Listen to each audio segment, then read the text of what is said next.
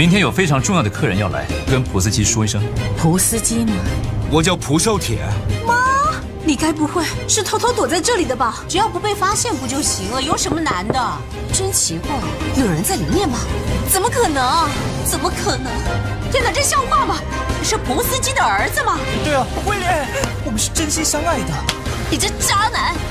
从今天起，蒲老师不会来接你了。不要，老师，